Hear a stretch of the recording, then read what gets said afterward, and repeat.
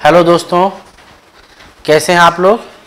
मैं target with आलोक से we के शुक्ला आपका स्वागत, वंदन और अभिनंदन करता हूँ। कल जो हम लोगों ने पढ़ा था आत्मरक्षा के अधिकार का प्रयोग, उसको आज जो है हम फिर से स्टार्ट करते हैं।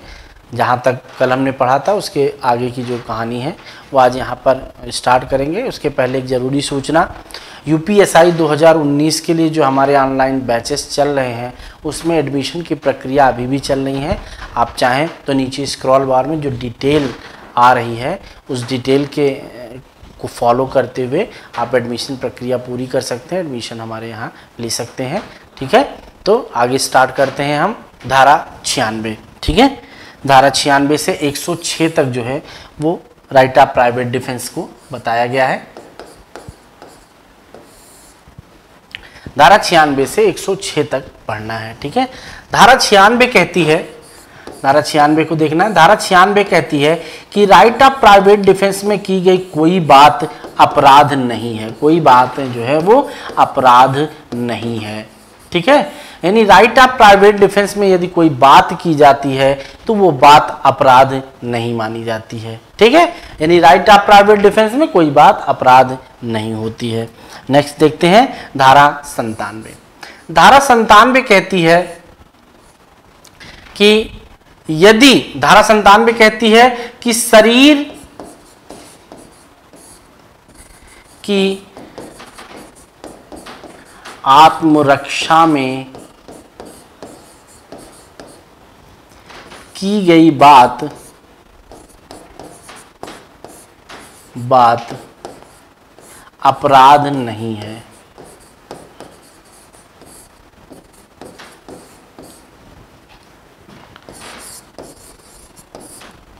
शरीर की आत्मरक्षा में की गई बात अपराध नहीं है। ठीक है?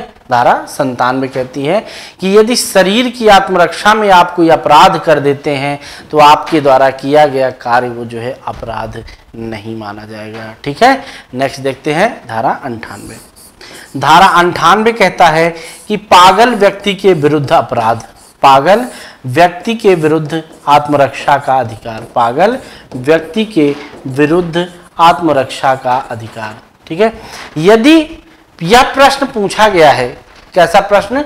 कई बार पूछा गया है कि क्या पागल व्यक्ति के विरुद्ध भी आपको राइट ऑफ़ प्राइवेट डिफेंस प्रदान किया गया है या राइट ऑफ़ प्राइवेट डिफेंस दिया गया है? ठीक है? तो मैं आपको बता दूँ कि पागल व्यक्ति के विरुद्ध भी राइट ऑफ़ प्राइवेट डिफेंस का वही प्रयोग आप कर सकते हैं जो एक स्वस्थ चित्त व्यक्ति के विरुद्ध आप राइट ऑफ़ प्राइवेट डिफेंस का इस्तेमाल कर सकते हैं। ठीक है? कैसे कर सकते हैं कि जो व्यक्ति, आपको राइट ऑफ़ प्राइवेट डिफेंस पागल व्यक्ति के विरुद्ध जो है, वही आपको जो स्वस्थ व्यक्ति के विरुद्ध है, वही एक पागल व्यक्ति के विरुद्ध भी राइट ऑफ़ प्राइवेट डिफेंस दिया गया है। ठीक है? धारा अंठानवे तक हो गया कि पागल व्यक्ति के विरुद्ध राइट ऑफ़ प्राइवेट डिफेंस का इस्तेमाल कर सकते हैं या नहीं कर सकते हैं। तो जी, बिल्कुल राइट ऑफ़ प्राइवेट डिफेंस का इस्तेमाल आप कर सकते हैं, ठीक है?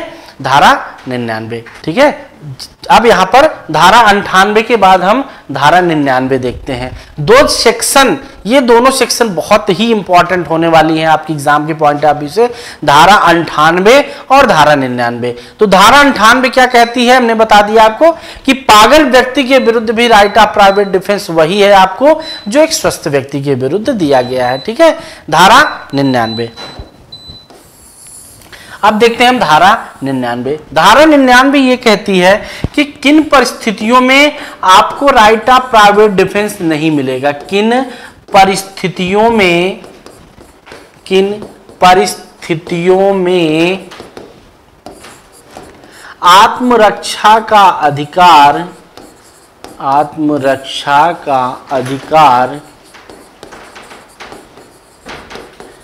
नहीं है नहीं है। तो कब नहीं है आत्मरक्षा का अधिकार? कब आप नहीं प्रयोग कर सकते हैं आत्मरक्षा के अधिकार का प्रयोग?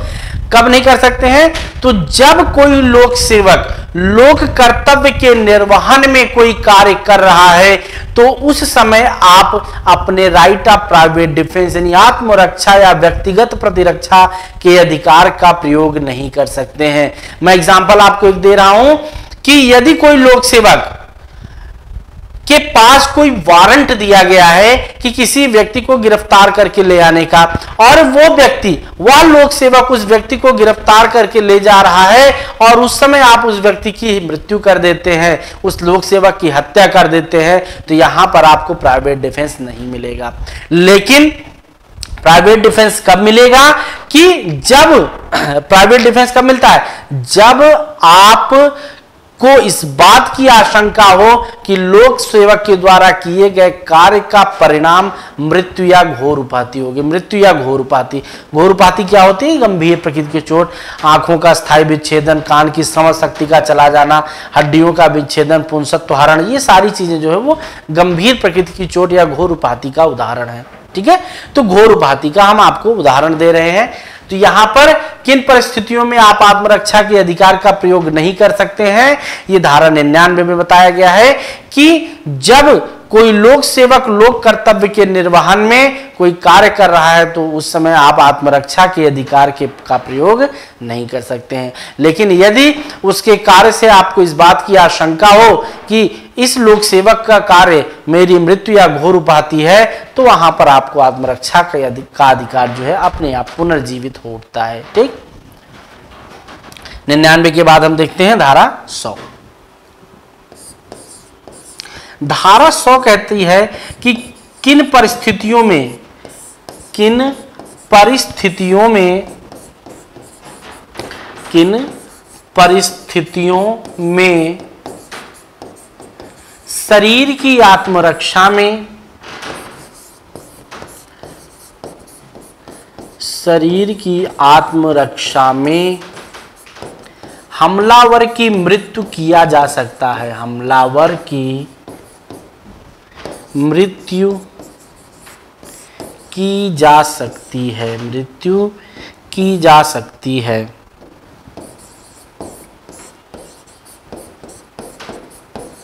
तो कुल यहाँ पर छह परिस्थितियाँ दी गई हैं। कुल कितनी परिस्थितियाँ दी गई हैं? छह परिस्थितियाँ दी गई हैं। ठीक है? धारा सौ है कि किन परिस्थितियों में शरीर की आत्मरक्षा में मृत्यु, यानी हमलावर की मृत्यु की जा सकती है? तो पहली परिस्थिति हम बता रहे हैं आपको कि यदि हमलावर की, जो हमलावर है, उसके हमले का परिणाम कैसा है? उसके हमले का परिणाम आपकी मृत्यु है। ठीक है? यदि जो हमला किया जा रहा है आपकी शरीर पर, उस हमले से कहीं ना कहीं आपको ये इस बात की आशंका है कि जो हमला मेरे शरीर के ऊपर किया जा रहा है, उस हमले का परिणाम मेरी मृत्यु होगी। तो आप हमलावर की मृत्यु कर सकते हैं। दूसरा है कि यदि उस हमले का परिणाम घोर उपाती है घोर उपाधि यानी गंभीर प्रकृति की चोट है। तो ऐसी परिस्थितियों में भी आप हमलावर की मृत्यु कारित कर सकते हैं। तीसरा है कि बलात् संग करने के आशय से किया गया हमला। यदि कोई बलात् संग करने के आशय से कोई हमला करता है तो उस परिस्थिति में भी आप हमलावर की मृत्यु कारित कर सकते हैं।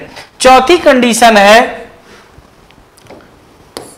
चौथी कंडीशन है अपहरण या व्यापहरण।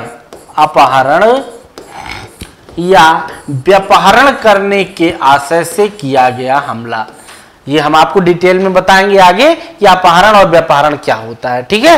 अपहरण और व्यापहरण के आशय से किया गया हमला।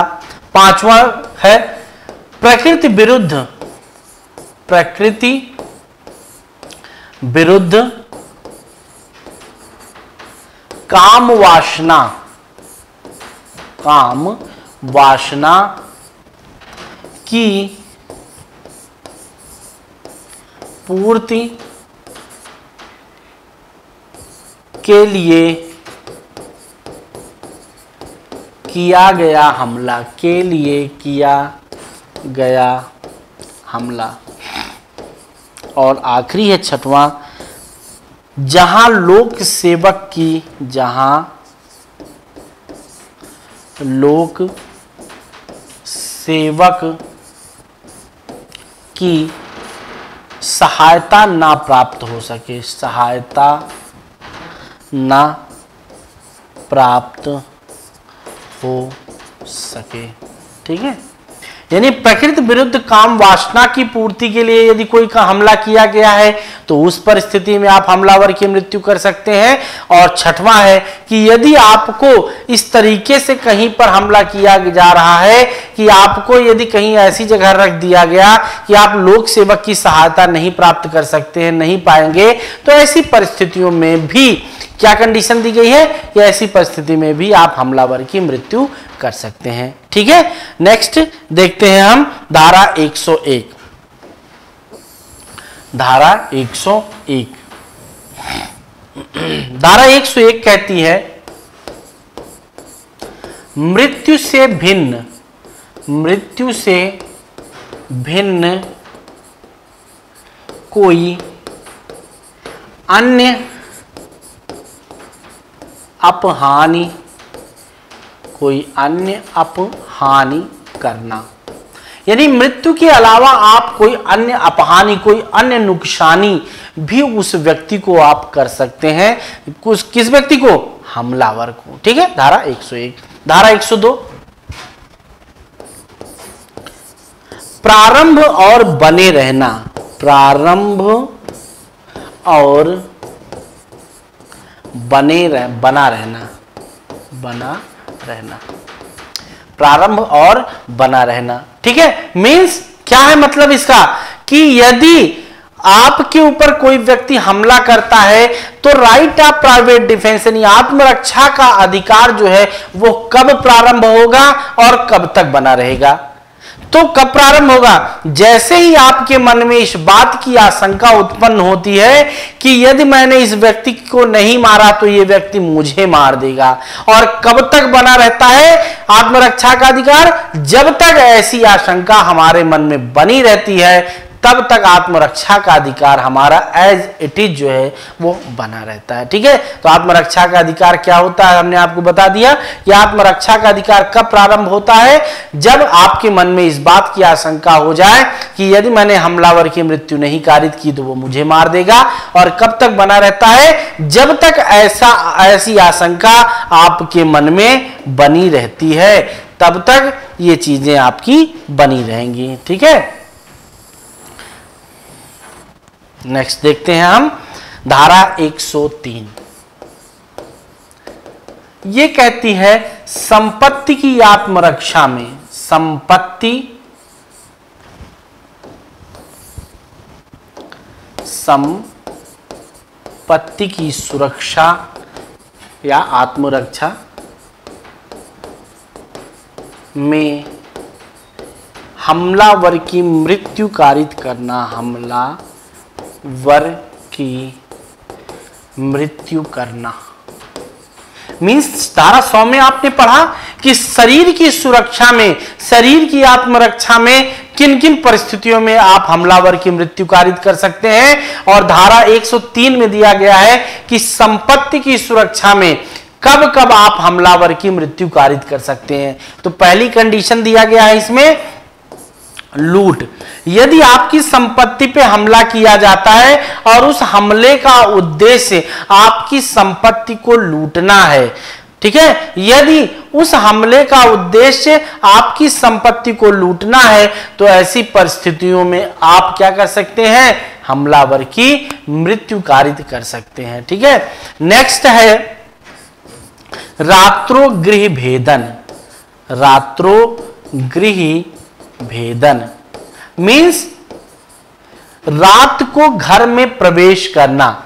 मीन्स आधी रात को आप किसी व्यक्ति के घर में प्रवेश कर रहे हैं। ठीक है? आप किसी व्यक्ति के घर में प्रवेश करने का प्रयास कर रहे हैं तो वहाँ पर भी आपकी मृत्यु कारित की जा सकती है। ठीक? नेक्स्ट तीसरा है, अग्नि द्वारा रिष्टि। अग्नि द्वारा रिष्टि। मैं अभी बता रहा हूँ आपको कि रिष्टि कौन सा अपराध होता है? रिष्टि रिष्टि एक ऐसा अपराध है जिससे किसी भी संपत्ति के मूल्य को घटा देना या उस संपत्ति को ऐसी परिस्थितियों में कर देना जिससे उसके मूल्य में कमी आ जाए या उसके मूल्य में ह्रास आ जाए। ठीक है? उसके मूल्य में कमी आ जाए। जैसे कोई मूल्यवान अंगूठी है, आप उस अंगूठी को उठाकर जल में फेंक दीजिए, नदी में फेंक दीजिए। तो क्या हुआ? उस संपत्ति की कीमत खत्म हो गई। चौपाया जानवर है, गाय है, बैल है, भैंस है, बकरी है। आप उसके पैर को काट दीजिए, तोड़ दीजिए। ठीक है? इससे क्या होता है? संपत्ति कैसी हो जाती है? उसके मूल्य में कमी आ जाती, वो मूल्यवान संपत्ति थी, उसकी संपत्ति की मूल्य में क्या हो गई गिरावट आ गई। जो चीज़ अब दस हज़ार की बिकनी थी, वो कोई दो हज़ार की भी नहीं खरीदेगा। ठीक है? उसी तरीके से अग्नि द्वारा रिष्टि यानी आपकी संपत्ति को जलाकर नुकसान कर देना, जलाकर उसकी संपत्ति को, उसकी कीमत को कम कर देना, संपत्ति की कीमत को, ऐसी कंडीशन में आप क्या कर सकते हैं? हमलावर की मृत्यु कर सकते हैं। चौथा है चोरी रात्रोगृह भेदन रात्रोगृह भेदन या रिष्टि, किसी घर, यान या तंबू में किया जाता है। ठीक है? चोरी कहाँ कर रहे हैं आप? तंबू में कर रहे हैं। किसी घर में कर रहे हैं, जो मानव के रहने के लिए आश्रित है। कोई ऐसा, कोई ऐसी जगह है जहाँ पर मानव निवास कर रहा है और वहाँ पर आप इस तरह की चीज़ें करते हैं तो वहाँ पर क्या होगा? इन परिस्थितियों में आप हमलावर की मृत्यु कारित कर सकते हैं। ठीक है? कितनी परिस्थितियाँ होंगी टोटल? चार। धारा सौ में कितनी परिस्थितियाँ हैं? जल्दी से क्विक रिवीजन मारिएगा। धारा सौ में छह परिस्थितियाँ हैं। कौन कौन से? मृत्यु, घोर उपाति अपहरण व्यापारण बलात्संग प्रकृति विरुद्ध काम तृष्णा और ऐसी परिस्थिति में कर देना जिससे आप लोक सेवक की सहायता ना प्राप्त कर सके। छह कंडीशन वहाँ पर है। धारा 103 में कौन कौन सी कंडीशन है? लूट करना रात्रोगृह भेदन अग्नि द्वारा अरिष्ट या चोरी अग्नि द्वारा अरिष्ट रातो गृह भेदन कहाँ पर करना? किसी यान, जलयान, तंबू जो मानव के निवास के लिए आश्रित हो या जहाँ पर मानव निवास कर रहे हो। ठीक है? धारा 103 क्लियर हो गया ये धारा 103 चलिए नेक्स्ट देखते हैं धारा 104 और धारा 105 ठीक है? धारा 104 कहती है आपकी मृत्यु से भिन्न कोई अपहान। यानी जब आपकी संपत्ति पर कोई हमला किया जाता है, उस समय आप मृत्यु से भिन्न कोई अपहानि कारित कर सकते हैं किसी व्यक्ति की। ठीक है? और धारा 105 धारा 105 कहती है, प्रारंभ और बना रहना। मीन्स संपत्ति की सुरक्षा, संपत्ति की रक्षा में आत्मरक्षा का अधिकार कब प्रारंभ होगा और कब तक बना रहेगा। तो कब प्रारंभ होगा? जब तक, जब आपके मन में इस बात की आशंका उत्पन्न हो गई कि यदि मैंने इस व्यक्ति की हत्या नहीं की, इस व्यक्ति को मारा नहीं तो यह व्यक्ति हमारी संपत्ति को नुकसान पहुंचाएगा और कब तक बना रहेगा? तो तब तक बना रहेगा जब तक ऐसी आशंका आपके मन में बनी रहती है। क्लियर हो गया है? धारा 100 से हम आपका रिवाइज करा दे रहे हैं फटाफट। धारा 100 में क्या है? परिस्थितियाँ है कि शरीर की संपत्ति सॉरी शरीर की आत्मरक्षा में हमलावर की मृत्यु करना और संपत्ति की कहा दी गई है? धारा 103 में। किन पर कब प्रारंभ होगा? शरीर के संबंध में 102 में है संपत्ति के संबंध में 105 में। ठीक है? अब धारा 106 धारा 106 106 की हेडिंग डाल लीजिए आप। धारा 106 की हेडिंग क्या है? कि घातक हमले के विरुद्ध प्राइवेट प्रतिरक्षा का अधिकार, जिससे निर्दोष की मृत्यु होना या निर्दोष को अपहानि होने की आशंका हो। कोई घातक हमला किया जा रहा है, किसी भीड़ के द्वारा, किसी भीड़ के द्वारा आपके ऊपर हमला किया जा रहा है, ठीक है? और वो भीड़ कैसी खतरनाक है, मॉब है। उग्र भीड़ है। उसके द्वारा आपके ऊपर हमला किया जा रहा है और यहाँ पर प्राइवेट प्रतिरक्षा यदि आप करेंगे तो निश्चित है किसी न किसी निर्दोष व्यक्ति की जान जा सकती है। ठीक है? सपोज़ करिए, आपके ऊपर 10 12 15 20 25 लोगों का एक झुंड जो है, वो हमला करता है। वहाँ पर आपके हाथ में एक पिस्टल रहती है और आपको लगता है, यार, अगर यदि मैंने अपनी रक्षा नहीं की तो ये भीड़ मुझे मार डालेगी। आप क्या करते हैं, आप उस पिस्टल से फायर करते हैं और वो पिस्टल का फायर जाके किसी बच्चे को लग जाता है, जो उसी मॉब में शामिल था, उसी भीड़ में शामिल था। ठीक है? और उससे उस व्यक्ति की मृत्यु हो जाती है। यहाँ पर आप हत्या के लिए जिम्मेवार नहीं है। भले ही आपकी गोली से किसी निर्दोष व्यक्ति की जान गई हो, ठीक है? ये यहाँ पर आपका धारा 106 तक हमने आत्मरक्षा के अधिकार को समाप्त कर दिया, ठीक है? एक चीज़ और मैं आपको बता देता हूँ कि यदि कोई व्यक्ति आत्मरक्षा के अधिकार का प्रयोग करता है तो उस प्रयोग को, उस अधिकार को साबित करने का भार भी जो है, वो उसी व्यक्ति के ऊपर रहता है। जो व्यक्ति यह कहता है कि मैंने यह कार्य आत्मरक्षा के अधिकार के प्रयोग में किया है, ठीक है? जैसे मैंने कहा कि साहब, मैंने इस व्यक्ति की हत्या जो है, वो आत्मरक्षा के अधिकार के प्रयोग में किया है तो मुझे ही यह साबित करना होगा, ठीक? क्योंकि जो व्यक्ति यह कहता है कि ऐसी चीज़ें हैं तो पॉजिटिव का ही एविडेंस दिया जाता है बेटा निगेटिव का एविडेंस कभी संभव नहीं है।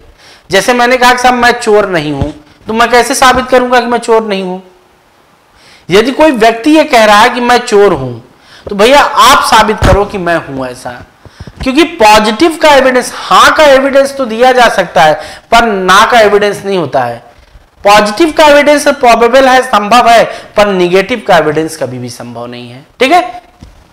यहाँ पर मैंने आपको जो है एक रिवाइज आज ये चौथी क्लास थी, यहाँ तक मैंने आपको right of private defence IPC CrPC में डिफरेंस प्रतिरक्षा मतलब मीन्स साधारण अपवाद और राइट ऑफ़ प्राइवेट डिफेंस जो है वो समझा दिया है, अच्छी तरीके से क्लेरिफाई करा दिया है, अगर कोई चीज़ समझ में नहीं आएगी तो वो जो है, वो सारी चीज़ें हम आपको फिर से एक बार समझा देंगे, ठीक है?